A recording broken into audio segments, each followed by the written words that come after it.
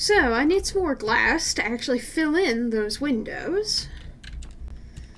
But other than that, I think this is looking like a very cute little mini house. And I'm happy with how it turned out. We have a little bit more interior decorating to do. We have a bit more storage I can shove stuff into. We probably should put another couple barrels along here, and I need to figure out what's going on in that filler section. And also, as I mentioned, we need more glass for those windows. And also, uh, speaking of more glass, I think I want to make glass bridges out here. Because while I do love having my striders to get around, I feel like a glass bridge where you might actually be below lava level just a little bit and get to see it sloshing around.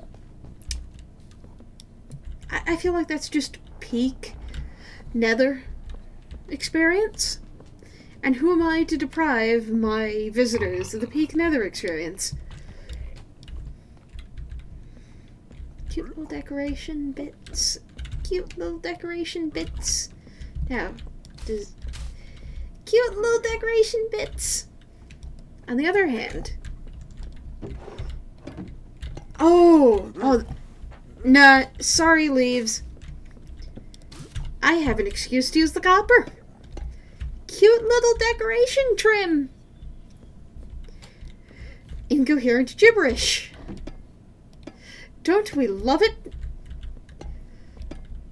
Look, if you don't make high-pitched squeaking noises while building, is it even a build? No, I didn't think so. Make more high-pitched squeaking noises to show your appreciation. Go on.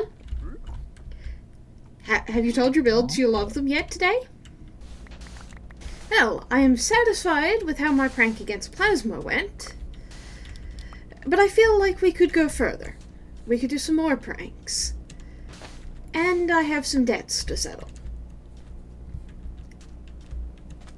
Admittedly, thus far, most of the debts I am aware of are positive debts I have to other people, such as the debt I owe to Omelette, which I should get around to finishing, now that my own projects are finished enough that I can be compelled with other people's work. Now, my debt Omelette is beyond the scope of this episode, as is my debt to Draken. Because he has made it very clear that that debt will be collected at a time of his choosing for the iron he has gifted us, and far be it from me to take, take away whatever plan he has just to make my life easier. No, I will let him call that in at exactly whatever dramatic moment best suit his needs and desires. Now, I will be putting myself in debt in many ways to the my fellow members of the server with these pranks, because I have no grievance justified with any of them. But until I know who it is I actually have grievance with for denying me access to the Doppelgangers Association, I am simply going to be uh, incredibly annoying. As a general thing to end people. So, there are some people to whom I owe a debt, and they shall be exempt from my pranks. But for other members of the server, those who I have found some sort of invitation in to prank them, I shall. And so, I have openings for both Spider Hearts and Cazza. So, yes, we just have this lovely cave that I feel could use some more lighting. So we find some sections of Spider's tunnel that could use some brightening up, some added cheer. Really, what more could you want? Okay, actually, this is remarkably bright for an area being illuminated by glowberries, primarily.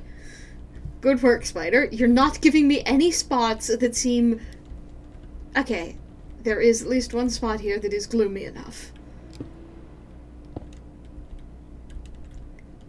And there we go. Some added illumination for Spider Heart's base. A little bit uh, bright, a little bit cheery, and a little bit incredibly ominous and threatening, which is exactly the sort of vibe we're going for here.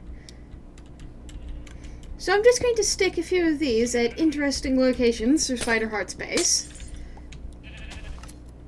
And actually, I'm going to have to sign this with some of the autumnal decoration, even if mysterious lava sources are probably attributable best to a single person. So let's just add another spot of interesting light sources. This one perhaps being the most dangerous, but I strongly doubt that anyone walking through is actually going to fall into that. Okay, hopefully she does not actually log back into her own base while I'm doing this. This might be the appropriate time for me to bail out of here before I get caught. Eh. No, no, hubris is fine. I reckon that that's enough for a little uh, prank some ominous death liquid, a little pile of autumnal decorations. My work here is done. Hello! Can we hear each you other? You asked for these lions. Well, I might say yes, but that might be lion. the lion puns have been a common feature of today. Here are the lines you asked for. You asked for lines, right? I will neither confirm nor deny whether or not I have asked for such, but I will be grateful. Where did I put his invisible wings? Why do I think that that was in the shulker box that got destroyed on stream? and I have no idea how I came to be in the possession of some custom lions, despite having been actively present while that just happened. There we go. We now have supplies for making some trouble. So it appears the curious case of the missing wings continues because the invisible wings are in fact invisible and I cannot find them. However, while I'm at it, let's grab some Curse of Binding for a specific little piece of trouble. And presumably with a trading hall this big, one of you librarians will have Curse of Binding. Right, well, a player lives here. That player appears to be Cazza. Which means that I'm looking for the other Nearly identical name. Further this way. Well, I see. Another player be here indicator.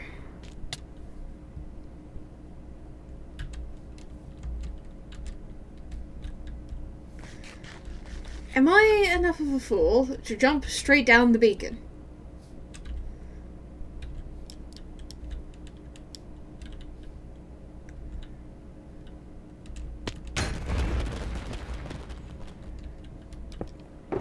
Yeah, that went about as well as I was predicting it would.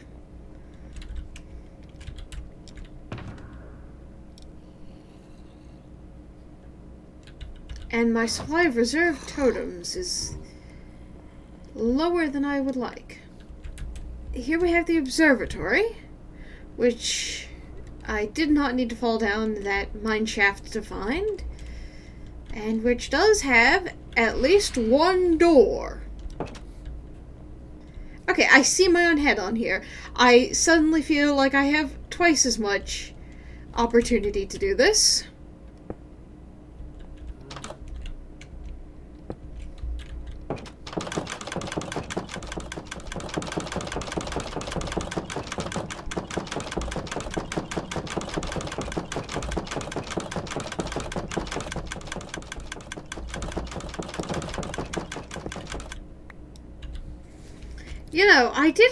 Think that was supposed to also be a noisemaker, but I will take it. Now, since one of the problems I have is that no one seems to accept that this face is a different person, I just have to put the normal spring face onto somebody else so that we can be seen at the same time. I just frame Cazza for being my good doppelganger. That's definitely how this works. And also, uh, the noisemaker effect is an added bonus that was not intended, but I am not complaining about. Right, there we go. Both of the front doors have now been rigged up to give an interesting surprise if you come through them the wrong way. And then let's rig up uh, another pair to provide a different interesting surprise over here. Ah. Never mind, those doors are on the wrong half of the block for that.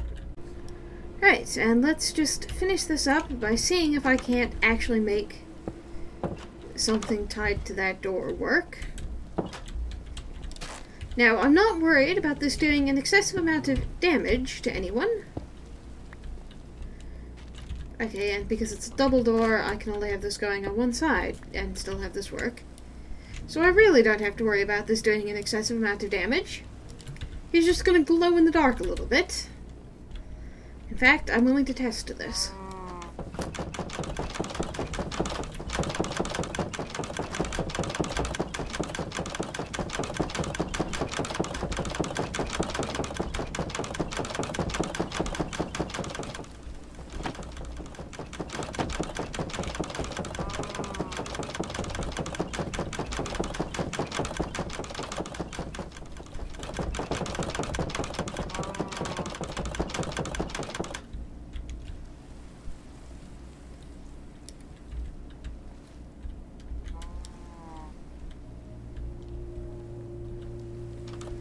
Does a dispenser not...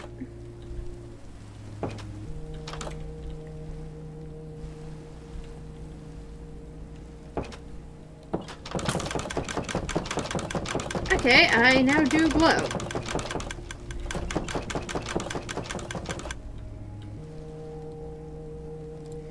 So, one arrow certainly will not be doing a significant amount of damage. And now my, my work here is done. I have suitably pranked Cazza with the exact technique he showed me.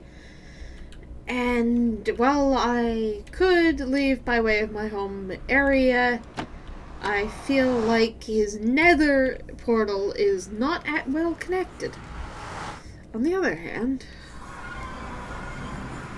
yeah, I do not like whatever is going on with this nether portal.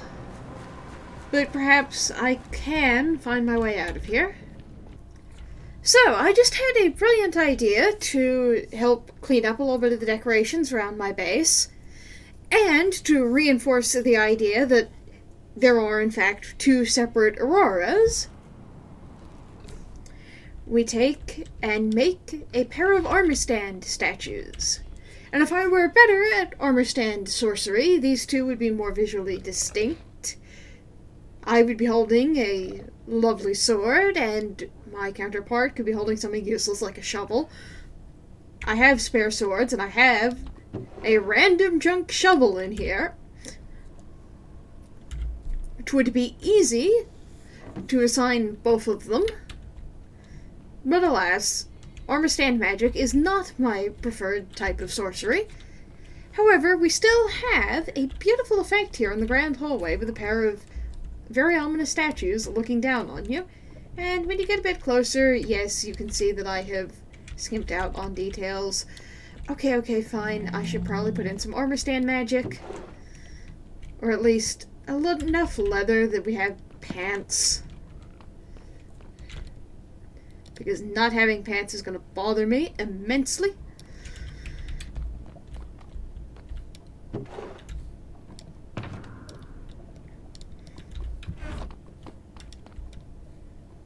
Now, to keep these properly in theme for the two of us, mine should be gray, and my counterparts should be red or pink. well, it should be red, but I have plenty of pink dye, so they're going to be pink. The gray is a little bit more expensive, so I'm going to take a moment to go squid hunting, because I need squid also for a book and quill. Right. And so I'm just going to leave some lecterns with books detailing interesting events.